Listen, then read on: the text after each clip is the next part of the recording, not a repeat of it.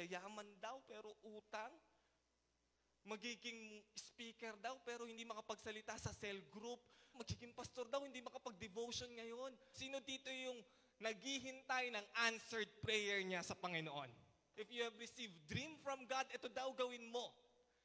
Sabi niya sa Habakkuk 2 verse 2 to 3, And the Lord said to me, Write my answer on a billboard, large and clear. Ganito daw gawin mo.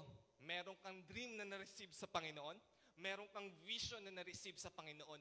Isulat mo para araw-araw nakikita mo, napapaallahanan ka. Bakit? Ito sabi niya. Because these things that I plan won't happen right away. Lahat ng mga plinano niya sa buhay mo, hindi mangyayari in just a snap. But here's the promise of God. Slowly, steadily, surely, the time approaches when the vision will be fulfilled.